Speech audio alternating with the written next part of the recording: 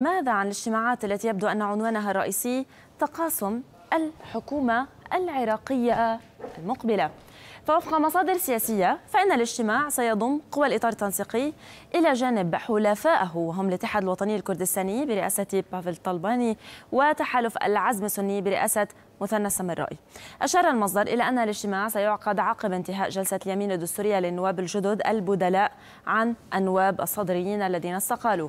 الاجتماع سيركز على أدق تفاصيل تشكيل الحكومة وتوزيع الحقائب الوزارية كذلك بما فيها توزيع الحقائب وفقا للعرف السياسي المتبع إلى جانب الثقل النيابي. وبحسب المعطيات فإن للمكون الشيعي 12 وزارة.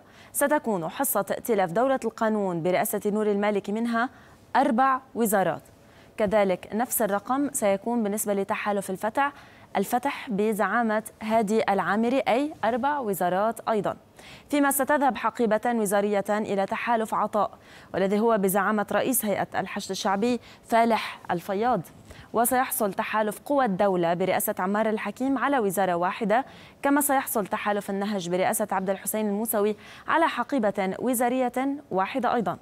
المصادر أكدت أن الثقل وأهمية كل وزارة رهن بعدد المقاعد التابعة لكل حركة أو تحالف وهكذا بالنسبة لبقية المؤسسات والهيئات المستقلة.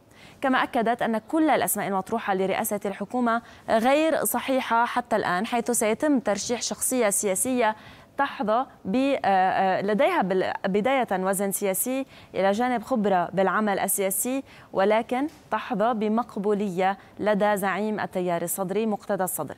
يأتي هذا في الوقت الذي كشفت فيه مصادر أخرى أنه من الصعب عقد جلسة الخميس في مجلس النواب قبل اتفاق الشركاء الصدر من تحالف السيادة برئاسة خميس الخنجر والحزب الديمقراطي الكردستاني بزعامة مسعود برزاني والمستقلين مع تحالف الإطار على شكل الحكومة القادمة.